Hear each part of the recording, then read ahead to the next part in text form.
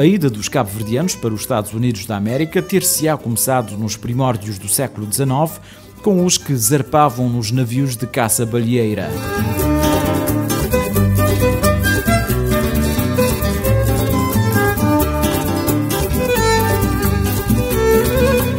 Estima-se hoje, de acordo com dados estatísticos do United States Census Bureau, que mais de 100 mil cidadãos de nacionalidade cabo-verdiana vivam nos Estados Unidos.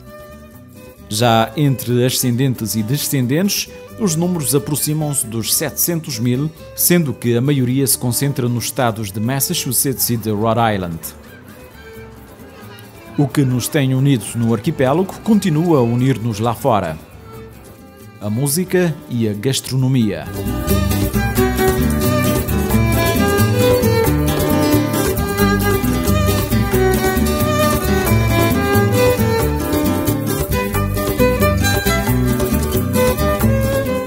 A partir da primavera até ao fim do verão, as assadas, ou como se diz nos States, os cookout, são uma constante no seio da comunidade. Aqui, as pessoas celebram o fim de um inverno rigoroso, mas também a amizade, e neste caso particular que fomos rusgar, celebra-se o Dia da Mãe.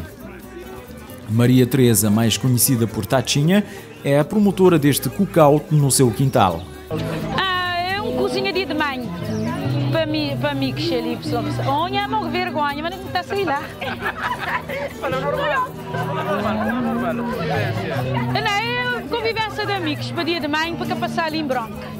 Não, é a primeira vez. Tudo ano me fazer um cookout, tinha fechado ano tudo ano. Mas manhã é a primeira vez. Mas é um exemplo de convivência também? Sim, sim. Para, nós, tudo mãe. Como é que tem sido essa convivência? Direito, por acaso. Como um espaço de encontro para crioulos? Para crioulos, ah, yeah. Para não conviver, para não chegar mais perto de companheiro, para não conviver. Os aperitivos e o beberete variam. Há cachupa, feijoada, carne assada, grog da terra, enfim, muitos sabores condimentados por canções que despertam nostalgias da terra-mãe, entoadas pelos artistas de plantão.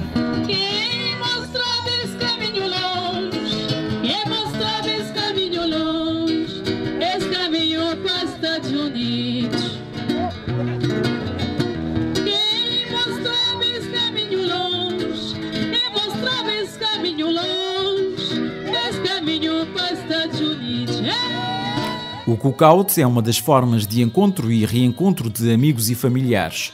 Muitos não se viam há muito tempo, embora vivam na mesma área de Pawtucket, no estado de Rhode Island. Bom, de verdade, é uma vez para ano. É, é verdade, não tem ali.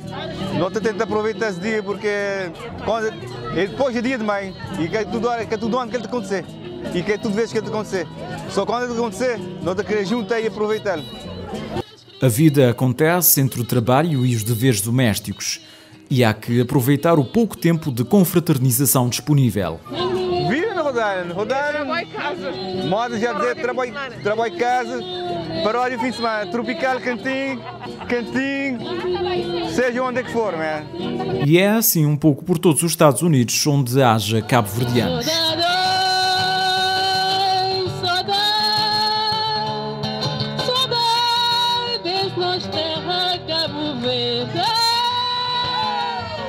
O cabo-verdiano vai integrando-se e levando um pouco de Cabo Verde para as terras do tio Sam. Aliás, já não é muito difícil encontrar produtos alimentares e bebidas tradicionais de Cabo Verde na região de New England. Prova disso é o preparo de uma linguiça tradicional que fomos conhecer num quintal de uma moradia na Bodwin Street, em Boston. Eva de Barros, originária do bairro do Safente, na praia, emigrou há 13 anos. Trabalhou num hospital e num hotel em Boston, ao mesmo tempo fazia linguiça por encomenda, até a iguaria ganhar fama e o negócio alcançar dimensões um pouco maiores. Sempre gostaria de cozinhar também de si. Aproveito sempre fazer na fim de semana com cozinha, se bom gosto. É dom. E gosta de cozinha para fazer? Só que ali, não tem de bar? Não, não, não. O que ele fazer na casa para divertir com amigos. Só para nunca se restrição de conversa, eu ainda falo assim, não, eu estou linguiça, eu estou linguiça. Não vai nada, ainda fazer, o que eu escrevo, eu só falo. ainda fazem esta busca. E alguém está falando, é para fazer 20 horas, que eu estou fazendo 30 horas, que eu estou fazendo 50 horas, que eu estou fazendo 100 dólares, eu estou fazendo 200 dólares, e assim está fazendo, para querer, para querer, vira. Já assim, está fazendo, alguém manda fazer. Aos fins de semana, Cadeva torna-se num ponto de paragem obrigatório para se experimentar a linguiça de Cabo Verde, que hoje já chega a casas comerciais. E qual é que dia assim que normalmente tem mais movimento? Fim de semana. Na semana? Uhum. Sexta, sábado, domingo. Então ele tem enchi. Uhum. Então a Gocilinha está fazendo isso aqui, né? Gosto de fazer isso aqui. Eu tenho resto. Mas eu tenho dia horti. Eu tenho horti para entregar, eu trabalho numa loja. Também quem desgosta, todo fim de semana, está levando 100 dólares, 100 dólares, a ver 200. Semana. E eu não fazia trabalho mesmo. E vale a pena então estar, estar ali na Boston? Não, vale a pena, a mim gosta, a mim cada vez ali.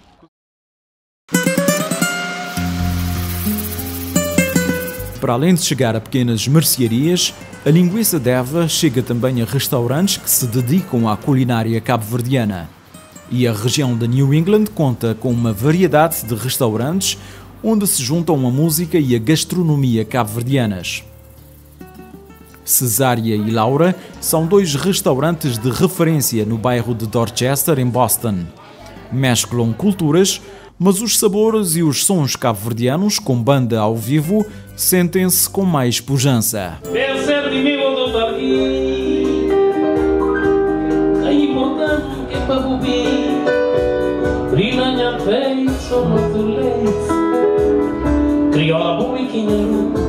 Os proprietários orgulham-se de contribuírem para a difusão da cultura cabo-verdiana nos Estados Unidos. Boston é uma cidade uh, praticamente conhecida para uh, cabo-verdianos e não só. Tem que o papel de Boston, cabo-verdiano fica ligado logo. E música é um de corações que que traz a cultura cabo-verdiana para conhecer na, na cidade de Boston. Por isso, noites cabo-verdianos na, na, na restaurante Cesária e na Boston é importante e é, é uma coisa que está espalha dele para ele. Que é este convite. Em termos de comida, gastronomia, o Zé Conhece te apresenta? É um Cabo Verde, é um pequeno Cabo Verde. É um, na, na, na, tudo, tudo que você pensa na Cabo Verde que você pensa de comida cabo-verdiana, você dentro do restaurante Cesário. É um pouco de, de Cabo Verde dentro de um, de um lugar, de um caso.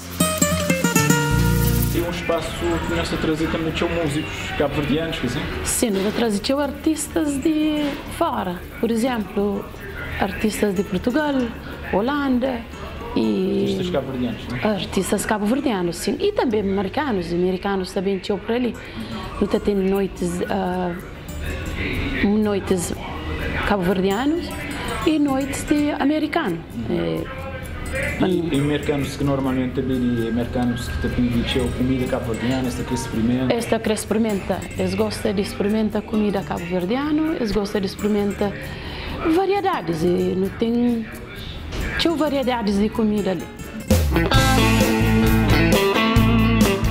Na região de New England, opções para se degustar um prato cabo-verdiano ou apreciar a música do arquipélago não faltam. Aliás, a comunidade está bem servida em termos de espaço, como defende o jornalista e músico Santos Spencer. Está a pensar que, que não está bem servido, um, para, para todo gosto. Tem pessoas que a gostar de, do tradicionalíssimo, tem ambientes que têm tradicionalíssimo, o, o violão, um cavaquinho, um violino, um chocalho tem, tinha gente a gostar de que lá, mim tem momentos que é lá também que está satisfazendo. Tem, tem outros ambientes onde é que tem música mais jovem, outros maltas que, que, que, digamos que instrumento eletrónico, uh, tem executações de música de, de momento. Cima que também botou aquele outros que te preferi uma mistura, digamos, uma fusão que, uh, que música americana e música de mundo. O jornalista considera que a comunidade cabo-verdiana está bem integrada nos Estados Unidos e que é na música onde reside o principal fator de integração e de união da comunidade. A música cabo-verdiana anda a pensar que é daqueles aspectos mais fortes de presença cabo-verdiana nos Estados Unidos. Nos música é um chamariz para muita coisa positiva. É nos alma, é nos, uh, é nos cultura, é nos presença, é nos força, é nos é, apelo à união uh, e a música de facto tem sido, tem sido um verdadeiro cartaz de Cabo Verde nos Estados Unidos. E através de música não tem conseguido uh, também comunicar-me a outros povos que estão a viver nessa grande nação. A comunidade não se fecha em si e há cada vez mais norte-americanos a saborearem a gastronomia, a apreciarem e a tocarem a música cabo-verdianas e até a falarem o crioulo das ilhas. Oi, americana? Yeah. De onde? Didi? De Pataquet? Yeah. Quando eu vou aprender a falar crioulo? Aprendi a falar crioulo na gente. Crioulo? não, tem filhos, mas crioulo. Oh, okay. Mora dentro de um casa, uns crioulos também. Vou falar crioulo, São Santos? E... Hã? Convivente é uma crioula? Yeah. Um data dono. Sabe? Quem que é comida crioula porque gosta mais seu? Mijingro. E música crioula? Não, mesmo tu gosta de tudo música crioula.